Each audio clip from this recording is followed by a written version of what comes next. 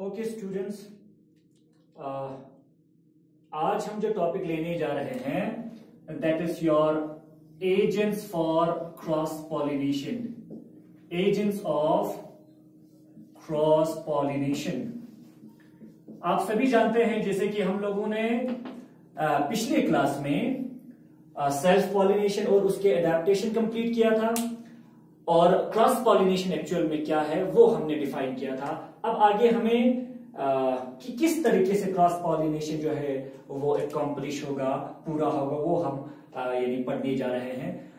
यहाँ पे एक और हेडिंग इसका हम रख सकते हैं एजेंसीज ऑफ़ क्रॉस पॉलिनेशन हम आ, कह सकते हैं। Agencies of cross pollination cross pollination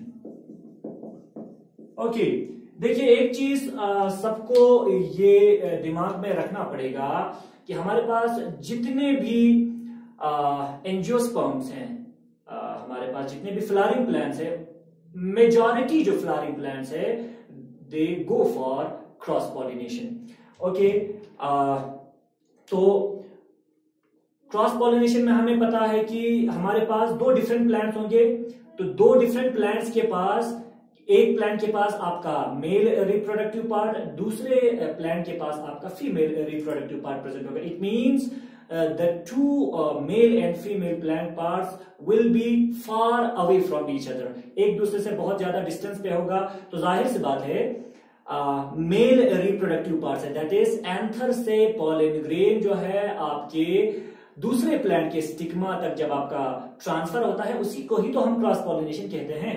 तो जब आपका पॉलन ग्रेन एक प्लांट से, दूसरे प्लांट की, एक प्लांट के एंथर से, दूसरे प्लांट के फ्लावर के स्टिग्मा तक जब वो ट्रांसफ़र होगा, ट्रांसफ़र कराने के लिए कोई ऐसा एजेंट होना चाहिए, कोई उसको ले जाने वाला कोई एंटिटी होना चाहिए तो इसका मतलब क्रॉस पॉलिनेशन बिना एजेंसीज के नहीं हो सकता। तो इतना हमें याद रखना है। तो इतना हम लोगों को दिमाग में बिठा कर रखना पड़ेगा कि जितने भी हमारे पास एजेंसीज हैं, यानी क्रॉस पॉलिनेशन को कराने वाले एजेंट्स हैं, उनको जनरली हम दो ग्रुप्स के अंदर हम पढ़ते हैं। क्योंकि लिविंग ऑर्गेनिज्म भी एज एन एजेंट काम करता है पोलन ग्रेन को एंथर से स्टिग्मा तक ट्रांसफ़र कराने का, ले जाने का काम करता है, या नॉन लिविंग जो हमारे पास एंटाइटीज है, वो भी हेल्प करता है पॉलन ग्रेन को एक प्लांट के फ्लावर के एंथर से, दूसरे प्लान के फ्लार के स्टिग्मा तक ट्रांसफ़र करने में हेल्प करता है। इसलिए जनरली क्रॉस पॉलिनेशन करने के लिए जो एजेंट्स या एजेंसीज होंगे, उन एजेंसीज को, उन एजेंट्स को हम जनरली दो हेडिंग्स के अंदर, यानी दो ग्रुप्स के अंदर हम पढ़ते हैं। One Uh, agencies. Yeah, one agent is uh, studied under the category of abiotic agents. Abiotic agents. And the one uh, the next one is called as biotic agents. It means there are two groups of agencies. One is non-living and the next one is living agencies. ठीक है? Okay abiotic agents के अंदर generally बहुत, हालाँकि ये बहुत less होता है। ये वाला जो एबायोटिक एजेंसीज की वजह से जो क्रॉस पॉलिनेशन होता है, वो बहुत ही कम प्लांट्स के अंदर आपको मिलेंगे। लेकिन फिर भी बहुत इंपॉर्टेंट यानी ये दोनों हमारे पास है। तो इसके अंदर हमें जनरली मिलेंगे एबायोटिक एजेंसीज के अंदर दो चीज़ें। एक तो विंड के द्वारा या एयर के द्वारा? एयर के ज़रिए से आपका पॉलिग्रेन जो है वो ट्रांसफ़र हो सकता है एंथर से स्टिग्मा ऑफ़ डिफरेंट प्लांट्स और डिफरेंट फ्लावर्स दूसरा जो नॉन लिविंग एंटाइटी है या एबायोटिक एजेंट है that is your water water ठीक है? तो ज़ाहिर सी बात है वाटर के द्वारा जो एजेंसी यानी वाटर के द्वारा जो पॉलिनेशन हो रहा है, वो मोस्टली ज़ाहिर सी बात है एक्वेटिक प्लांट्स के अंदर होगा, ठीक है? एक्वेटिक एंजियोस्पर्मिक प्लांट्स के अंदर। ओके इसी तरीके से हमारे पास बायोटिक एजेंट्स बहुत सारे हैं। जनरली आप अगर देखें तो बायोटिक जो एजेंसीज हैं, उनको हम कई सारे ग्रुप्स के अंदर पढ़ते हैं। देखिए फॉर एग्ज़ाम्पल हमारे पास इंसेक्ट्स हैं। इंसेक्ट्स सबसे ज़्यादा खासकर बायोटिक एजेंट्स के अंदर जो सबसे ज़्यादा पॉलिनेशन यानी क्रॉस पॉलिनेशन कर, कराने वाले एजेंसी जो है वो आपके इंसेक्ट्स हैं। ये याद रखिएगा। नंबर सेकंड इंसेक्ट्स के अलावा और कौन कौन से लिविंग ऑर्गेनिज्म है जो पॉलन ग्रेन को एंथर से दूसरे प्लांट के फीमेल रिप्रोडक्टिव पार्ट के स्टिग्मा तक पॉलन ग्रेन को ट्रांसफ़र करा सकता है। एक तो बायोटिक एजेंट्स के अंदर, यानी लिविंग एजेंट्स के अंदर हमने इंसेक्ट पढ़ा। नंबर सेकंड हमारे पास है बर्ड्स जो आपके पास बर्ड्स है, चिड़िया जो है, या बाकी जितने भी बर्ड्स है, सिर्फ़ चिड़िया ही नहीं, बहुत सारे जितने भी बर्ड्स हैं वो सारे बर्ड्स भी पॉलन ग्रेन को ट्रांसफ़र कराने में बहुत इंपॉर्टेंट रोल प्ले करता है। They play a very pivotal role in transferring the pollen grain from anther of one plant to the stigma of another plant flower of the other plant number third जो हमारे पास biotic uh, agent है या living agent है जो pollen grain को transfer कर सकता है from one flower of one plant to the uh, different flower uh, of the different plant. That is your uh, आप कह सकते हैं एंड्स जो है वो भी ट्रांसफ़र करते हैं। याद रखिएगा ये शाबाश। नंबर फोर्थ जो है बैट हमारे पास जो चमगादड़ होते हैं वो भी कुछ ऐसे गिने चुने प्लांट स्पीशीज जब हम पढ़ेंगे तब हम साथ साथ में उन प्लांट्स के स्पीशीज के नाम भी बताएँगे। तो कुछ प्लान ऐसे भी होते हैं जिनके अंदर बैट बड़ा इंपॉर्टेंट रोल प्ले करता है पॉलन ग्रेन को ट्रांसफ़र करने में। एंड नंबर फिफ्थ जो है, कुछ स्नेल्स या जिनको हम कहते हैं स्लगिश एनिमल यानी जो यानी ज़्यादातर जिसके अंदर स्लगिश एनिमल्स के अंदर ज़्यादातर हम स्नेल्स की बात करेंगे तो ये कुछ लिविंग ऑर्गेनिजम्स हैं जो एंथर से स्टिग्मा तक पॉलन ग्रेन को ट्रांसफ़र कर सकता है। एक और चीज़ एक और हम ऐड कर सकते हैं जनरली हम कहते हैं एनिमल्स एनिमल्स का मतलब यहाँ पे देखिए ये सारा एनिमल्स ही है। लेकिन एनिमल्स यहाँ पे हम थोड़ा सा लार्ज जो एनिमल्स है उनकी बात कर रहे हैं। Large animals including cow including goat including including human are cells also ठीक है? ओके okay, तो हमने क्या कहा? जनरली हमारे पास क्रॉस पॉलिनेशन के जो एजेंसीज है एजेंट्स है क्रॉस पॉलिनेशन करने वाले जो चीज़ें हैं, वो दो कैटेगरी के हैं। एक तो नॉन लिविंग वाले कैटेगरी है, दूसरा लिविंग वाले कैटेगरी है। नॉन लिविंग वाले कैटेगरी में हमारे पास दो ऐसे एंटाइटी आपको मिलेंगे नॉन लिविंग चीज़ें आपको मिलेंगे जो पॉलिनेशन क्रॉस पॉलिनेशन करने में बहुत बड़ा इंपॉर्टेंट रोल प्ले करता है। क्या है कौन कौन से है? एक तो हवा के ज़रिए आपका पॉलिन ग्रेन ट्रांसफ़र हो सकता है। नंबर सेकंड पानी के ज़रिए। आपका पॉलिन ग्रेन ट्रांसफ़र हो सकता है। बायोटिक एजेंट्स के अंदर बहुत सारे हैं। इंसेक्ट्स जो कि बहुत ज़्यादा इंपॉर्टेंट रोल प्ले करता है। Birds ants bats snails and बाकी जो लार्जर एनिमल्स हैं, ये सारे जो है हमारे बायोटिक एजेंसीज हो गए। ओके अब हम सबको अलग अलग से पढ़ेंगे। एक चीज़ सबको याद रखना है, शाबाश। इनको कुछ टेक्निकल टर्म्स हम इस्तेमाल करते हैं, ज़ाहिर सी बात है।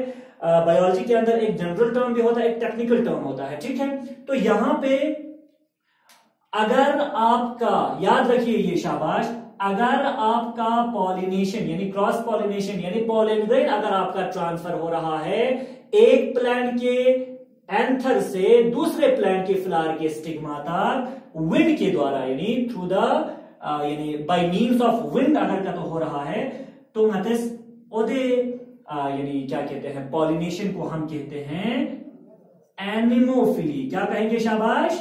एनिमोफिली ओके इतना याद रखना है। यानी अगर आपका पॉलिन ग्रेन ट्रांसफ़र हो रहा है by means of wind that pollination by means of wind that is abiotic agent is called as anemophily and अगर आपका पॉलिनेशन हो रहा है, खासकर एक्वेटिक प्लांट्स के अंदर, अगर आपका पॉलिनेशन हो रहा है by means of water then it is called as hydrophily क्या कहेंगे शाबाश बेटा? उसे कहेंगे हाइड्रोफिली ठीक है? ओके हाइड्रोफिली को भी हम जनरली दो हेडिंग्स के अंदर पढ़ते हैं। ये जब हम इसको डिटेल में पढ़ेंगे, तब आपको पता चलेगा, हम इसको अलग अलग से पढ़ेंगे। दो हेडिंग्स यानी दो टाइप्स के अंदर पढ़ते हैं।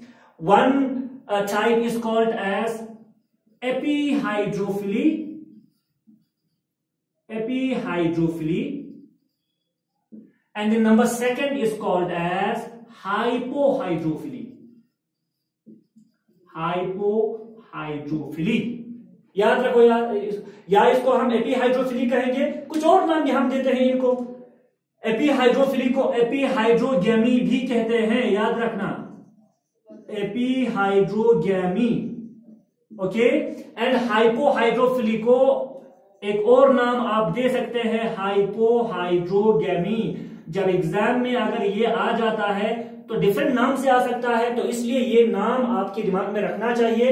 Epihydrophily and epihydrogamy are the same thing two name for one thing and hypohydrophily या हाइपोहाइड्रोगमी और ऑल्सो सेम ये याद रखना ओके अब देखिए शाबाश, अगर, याद रखो ये शाबाश, अगर बायोटिक एजेंट्स के अंदर, अगर इंसेक्ट्स की वजह से पॉलिन ग्रेन आपका ट्रांसफ़र हो रहा है मेल से फीमेल प्लांट के पास, उस इंसेक्ट के द्वारा हो गए हुए पॉलिनेशन को, यानी बायोटिक एजेंट्स की बात कर रहे हैं अगर हम तो इंसेक्ट्स की वजह से अगर हो रहा है, उसको भी एक टेक्निकल टर्म हम इस्तेमाल करते हैं बॉटनी के अंदर that pollination which is done या which is accomplishing by means of insects, by the agency of insects, is called as entomophily याद रखो ये शाबाश क्या कहेंगे entomophily and the study of insect is called as entomology ये जब हम डिटेल में पढ़ेंगे और भी इसको हमें इलाबोरेटली पढ़ना है नंबर सेकंड अगर बर्ड्स की वजह से यानी परिंदों की वजह से अगर पॉलिन ग्रेन ट्रांसफ़र हो रहा है फ्रॉम वन प्लांट यानी anther of one flower of one plant to the stigma of another flower of another plant अगर बर्ड्स की वजह से हो रहा है देन दिस टाइप ऑफ़ क्या कहते हैं पॉलिनेशन इज़ कॉल्ड एज याद रखिए शाबाश ऑर्निथोफिली क्या कहेंगे? ऑर्निथोफिली एंड सबको पता है स्टडी अबाउट ऑर्निथ यानी birds is called as ornithology okay और अगर आपका पॉलिनेशन हो रहा है by means of ants ants की वजह से भी कुछ प्लांट्स के अंदर होता है। साथ में जब हम इसको अलग अलग से हमें पढ़ना है अभी डिटेल में पढ़ना है एक एक करके, उस समय हम कुछ प्लांट्स के स्पीशीज भी आपको बता देंगे। और अगर एंड्स की वजह से ये पॉलिनेशन हो रहा है then this type of pollination is called as myrmecophily याद रखो शाबाश। मायरमेकोफिली याद रखो। ठीक है? Entomophily by means of insects ornithophily by means of birds myrmecophily by means of ants and अगर कुछ प्लांट्स ऐसे होते हैं जो नाइट को ब्लूम करते हैं, यानी जिनका फ्लारिंग जो है वो ओपन होता है फ्लावर जो है वो ओपन होता है रात के टाइम पे तो ऐसे फ्लावर के अंदर वैसे ही ऑर्गेनिजम्स एक्टिव रहेंगे पॉलिनेशन करें, जो रात को ज़्यादा एक्टिव होते होंगे। और हमें पता है बैट जो है वो सबसे ज़्यादा रात को ही एक्टिव होता है। तो इन केस ऑफ़ बैट अगर बैट के द्वारा पॉलिनेशन हो रहा है देन उस type of cross pollination by means of biotic agents यानी bat is called as chiropterophily chiropterophily chiropterophily okay? And uh, pollination by means of snails. Snail के द्वारा अगर पॉलिनेशन हो रहा होगा तब ऐसे पॉलिनेशन को हम कहेंगे मैलेकोफिली क्या कहेंगे शाबाश बेटा? मैलेकोफिली एंड लास्ट में एक हमारा बात जाता है लार्ज एनिमल्स के द्वारा यानी जैसे कि हम इंसान हैं या कुछ बड़ा भारी भरकम जो कोई एनिमल होगा, अगर उसके द्वारा अगर हो रहा है that type of cross pollination is called as zoophily ये सबको याद रखना है शाबाश। That is called as zoophily okay अब देखिए these are some of the agencies of cross pollination and these agencies were categorized into two category. One is abiotic number second is biotic. ये सबको दिमाग में बिठाना है। हम क्या करेंगे? एक एक करके सारे हर एक क्लास में इनको एक एक करके हमें पढ़ना है। ठीक है? यहाँ तक आ, समझ में आ गया होगा। आई होप तो चलिए एक चीज़ याद रखना है सबको। थोड़ा बहुत और भी मैं यहाँ पे आ, नोट अगर करना है तो आप नोट कर सकते हैं। मैं थोड़ा सा आपको टाइम दे रहा हूँ। उसके बाद मैं इसको मिटा दूँगा। अब देखिए शाबाश ये हो, हो गया एजेंसीज की बात। अब थोड़ा सा पोलेंग्रेन का को थोड़ा क्योंकि पोलेंग्रेन के बारे में थोड़ा बहुत हमने पहले पढ़ा है। What are the feature what are the structure of pollen grain what are the different structural feature of pollen grain वो हमने पहले क्लास में पढ़ा है। अब यहाँ पर थोड़ा पोलेंग्रेन की वायबिलिटी के बारे में बात करेंगे। समझ में आ रहा है? क्या करेंगे? वायबिलिटी के बारे में। अब पोलेंग्रीन या आप ऐसे लिख सकते हैं viability of pollen grain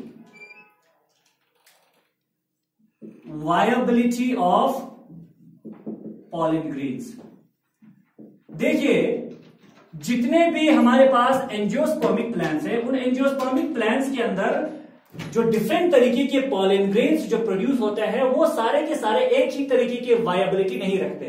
अब यहाँ पे बात ये है what does the word viability means viability means मैं यहाँ पे लिख रहा हूँ, साथ में लिख लीजिए शाबाश। The period of which the period of which uh, the pollen grains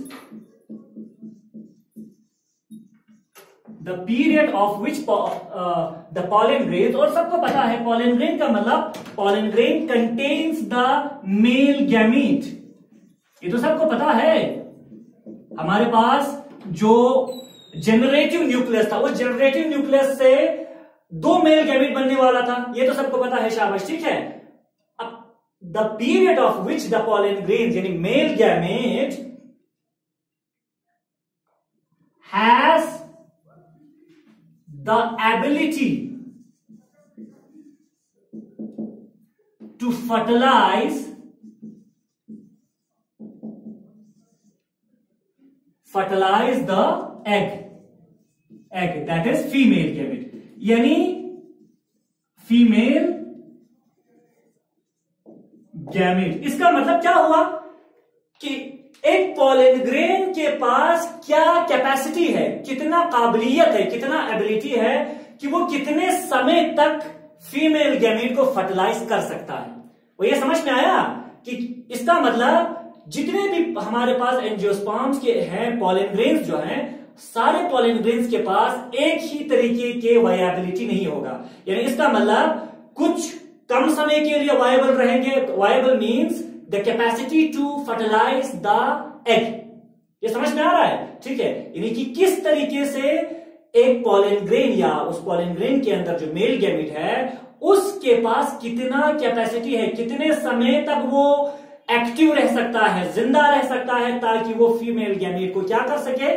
fertilise कर सके। That is called viability of pollen grain तो इतना याद रखना, मैं कुछ एग्ज़ाम्पल आपको यहाँ पे दे रहा हूँ।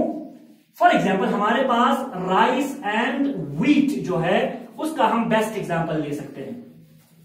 शायद ये आप लोगों ने नोट कर लिया होगा। अच्छा देखिए फॉर एग्ज़ाम्पल हमारे पास कुछ एग्जाम्पल्स हैं। एग्जाम्पल्स हमारे पास दो प्लांट है जो जनरली यानी हम इस्तेमाल करते हैं खाने के लिए.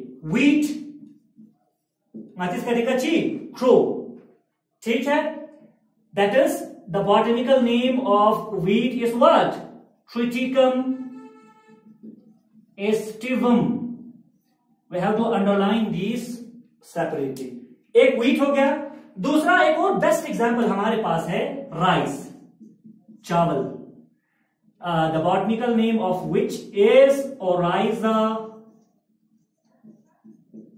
sativa Oryza sativa ये जो दो प्लांट्स हमारे पास है व्हीट और राइस अगर आप इनका वायबिलिटी देखेंगे, यानी अगर आप ये देखेंगे कि इनके पोलेंग्रेन कितने समय तक ज़िंदा रह सकता है वायबिलिटी का मतलब एक लूज टर्म में हम ये भी कह सकते हैं कि कि कितने समय तक आपका पोलेंड्रन ज़िंदा रहेगा ताकि वो जाके फीमेल गेमिट के साथ अपने आप को फर्टिलाइज कर सके सीड बनाने के लिए, नया ऑर्गेनिज्म बनाने के लिए। तो ये देखा गया है वीट और राइस का जो वयाबिलिटी होता है, वो थर्टी मिनट ही होता है थर्टी मिनट्स यानी सिर्फ़ तीस, अगर इसका मतलब क्या हुआ?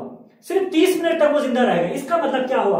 अगर वीट और राइस का पॉलिन ग्रेन एंथर से रिलीज़ हो रहा है, आधे घंटे के अंदर थर्टी मिनट्स के अंदर अगर वो फीमेल स्टिग्मा तक पहुँचा, वहाँ पे पॉलन ट्यूब बनाया जर्मिनेशन हुआ, और अगर उसी आधे घंटे के अंदर फर्टिलाइजेशन हुआ तो ठीक है।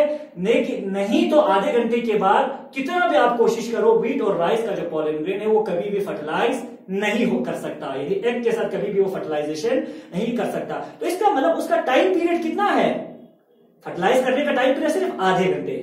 और मोस्ट ऑफ़ द जो हमारे पास मोस्ट एनजियोस्पर्म्स यानी ज़्यादातर जो हमारे पास मोस्ट जो एनजियोस्पर्म्स होगा, वो एनजियोस्पर्म्स का जो वायबिलिटी होता है फ्यू मंथ्स तक, यानी कुछ महीनों तक उसका वायबिलिटी हो सकता है। इतना याद रखना। समझ में आ रहा है?